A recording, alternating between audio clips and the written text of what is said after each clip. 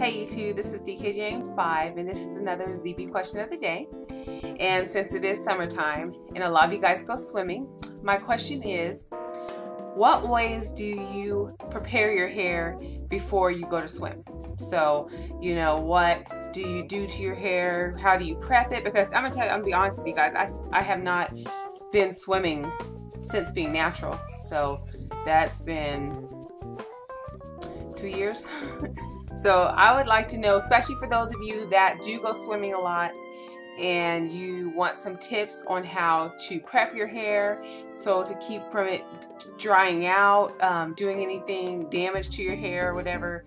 Um, I would like to get some feedback on you guys if you you know just answer this question because there could be someone watching who you know is wanting to go swim but you know they, they don't have a clue as to how to prep their hair take care of their hair before they go and swim so that's my ZB question today and I'll have it open for you guys to do a video response and of course comment in the comment section. So thank you guys so much for watching and remember to love the hair and body God gave you. Bye.